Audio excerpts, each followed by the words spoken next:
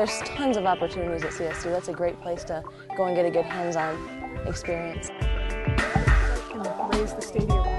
We do outdoor ed, uh, environmental ed for schools in Loveland. Do they look like flower seeds?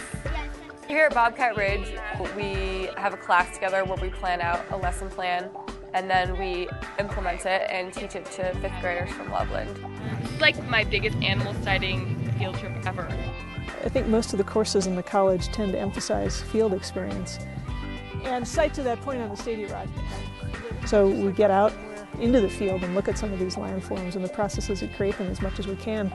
Most of the students in the Warner College of Natural Resources are required to take a course up in the mountains in between their sophomore and junior year for a month. We have a campus called Pingree Park up about 9,000 feet. It's a beautiful place. It's deeply rooted though. Yeah, it is. Well, if you look around, this is our campus. I mean, it's beautiful. There's there's mountains, there's valleys, there's rivers.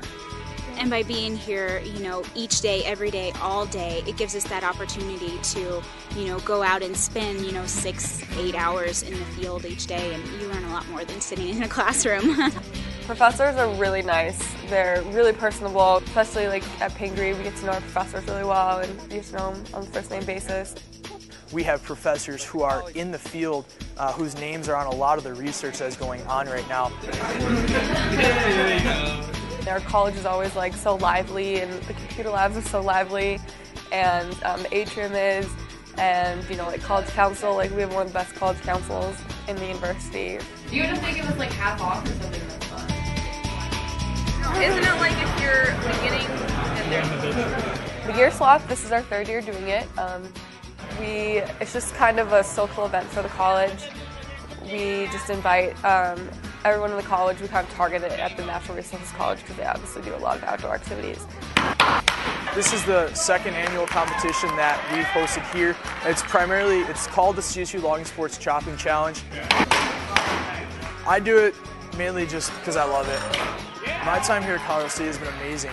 Uh, it's a great place to learn, uh, especially being into any kind of outdoor activity. You're so close to you know the foothills and stuff like that. It's been a really great time, um, and I've met a lot of amazing people through the events, activities.